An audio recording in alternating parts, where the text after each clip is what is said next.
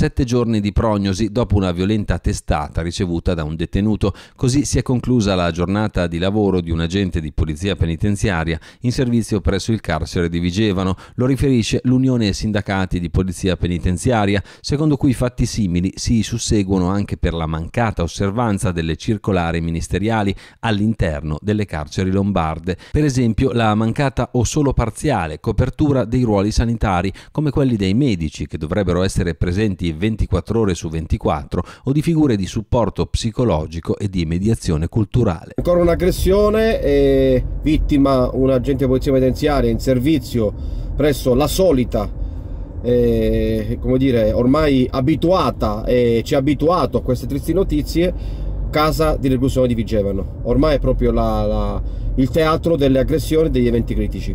I motivi non, non, sono noti, le dinamiche non sono note, quel che conta è che chi commetta violenza deve essere eh, adeguatamente redarguito e l'amministrazione dovrebbe far sentire per l'appunto la propria determinazione come più volte noi abbiamo, abbiamo eh, sollecitato. Eh, la polizia penitenziaria viene eh, quotidianamente aggredita, le circolari non contano nulla perché fino a quando sono solo scritte ma non applicate evidentemente non contano nulla. Noi auspichiamo che con l'insediamento del nuovo governo qualcosa finalmente si possa muovere.